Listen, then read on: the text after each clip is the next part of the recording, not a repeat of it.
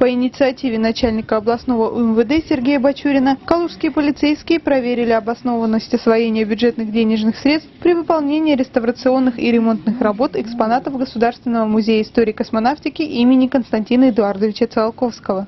Было установлено, что 29 июля 2013 года руководство музея заключило государственный контракт на выполнение реставрационных работ шести экспонатов. Их стоимость составила около 4 миллионов 700 тысяч рублей. Через две недели был заключен еще один госконтракт на ремонт постамента ракеты «Восток» и смотровой площадки на сумму около 700 тысяч рублей. По окончании все работы были оплачены подрядной организацией в полном объеме, о чем были составлены соответствующие акты. В ходе полицейской проверки были получены документы, подтверждающие стоимость работ, установлены лица, проводившие ремонт, а также должностные лица, контролирующие их ведение и приемку.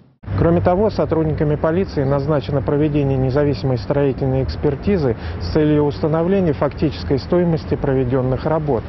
В результате экспертного исследования выявлено существенное завышение фактической стоимости проведенных работ по реставрации шести экспонатов из музейного собрания на сумму более 4 миллионов 205 тысяч рублей. Также установлено завышение стоимости выполненных работ по текущему ремонту постамента ракеты «Восток», а также смотровой площадки у Музея космонавтики на сумму более 371 тысячи рублей.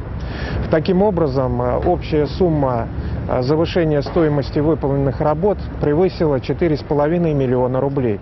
Материалы, полученные в ходе оперативной проверки, были направлены для принятия процессуального решения. По факту служебного подлога возбуждено уголовное дело.